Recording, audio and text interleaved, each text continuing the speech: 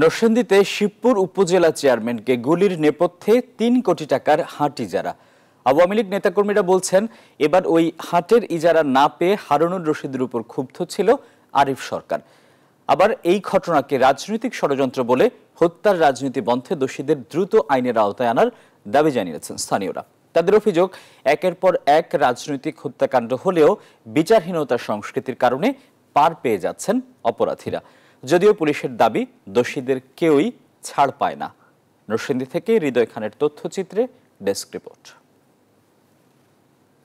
বাড়িতে ঢুকে উপজেলা চেয়ারম্যান হারুন রশিদকে গুলিবিদ্ধ করার ঘটনায় থমথমে অবস্থা নরসিংদীর শিবপুরে। কেন, কারা, কি কারণে উপজেলা আওয়ামী লীগের সাবেক এই সভাপতিকে হত্যা চেষ্টা চালিয়েছে, তা নিয়ে চলছে জোর গুঞ্জন। আওয়ামী লীগ নেতাকর্মীদের অনেকের ধারণা, দেশের অন্যতম বড় পাইকারি হাট শিবপুরের পটিয়ার ইজারা নিয়ে বিবাদে এ ঘটনা ঘটেছে। গেল বছর পেলেও এবার ইজারা না পেয়ে হারুনুর রশিদের উপর ক্ষুব্ধ ছিল আরিফ সরকার। হারুনকে হত্যা করতে সহযোগীদের নিয়ে মোটরসাইকেলে হারুনের বাসায় যায় আরিফ।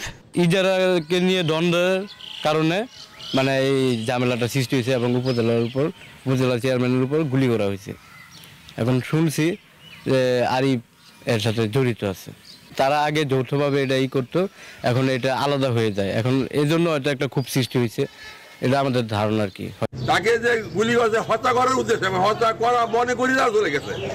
হত্যা করতে আসছে। এটা একমাত্র লক্ষ্য হত্যা করার জন্য।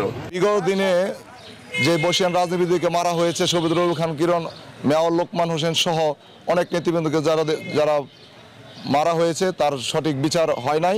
প্রবীণ এই রাজনীতিবিদের উপর হামলায় ক্ষুব্ধ স্থানীয় ও আওয়ামী লীগ নেতারা। তাদের অভিযোগ খুনের বিচার না হওয়ায় অপরাধ প্রবণতা বাড়ছে।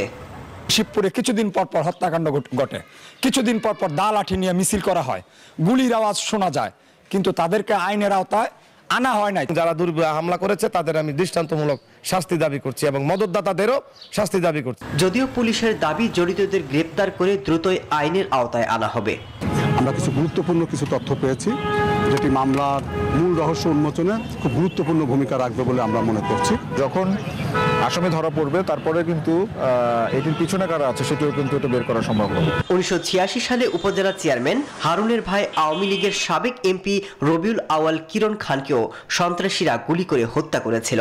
দীর্ঘ সাঁত্রিশ বছর পরেও সেই হত্যা মামলার কোনো কিনারা হয়নি। এছাড়াও নরসিংদীর জনপ্রিয় মেয়র লোকমান হোসেন সহ হত্যাকাণ্ডের শিকার হন দুই ডজনেরও বেশি রাজনৈতিক নেতা।